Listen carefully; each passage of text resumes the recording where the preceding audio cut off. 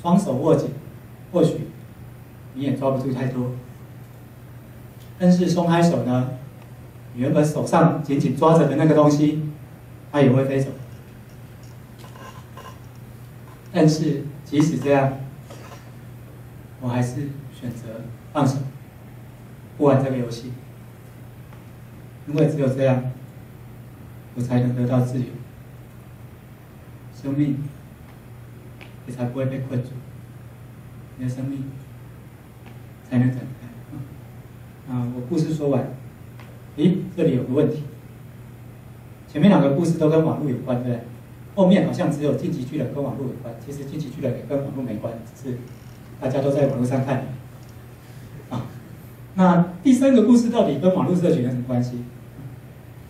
没关系啊，我们可以熬回来。当我决定松开手，不写论文，我认真教书，我认真写写书，啊，我把上课的画面都录影，所以各位上我的课的同学呢？啊，非常抱歉，有时候我会停下来，稍微让录影跑一下啊。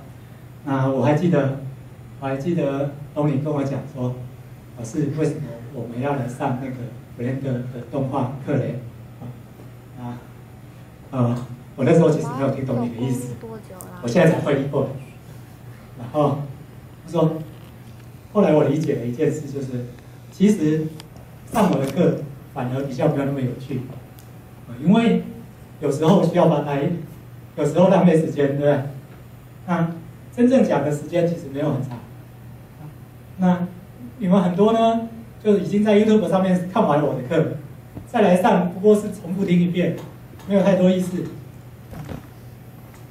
那那所以你那时候是不是问我是这个原因？OK，现在我会议过了。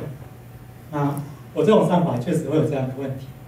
所以，如果你真的不想来哦，其实你就跟我讲说，OK，我已经看过你的影片了。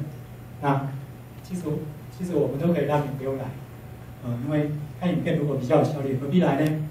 啊，那我们现在其实我我的做法已经一直都在线上，线上化的程度非常的高，所以很多东西其实只要自己练习，OK。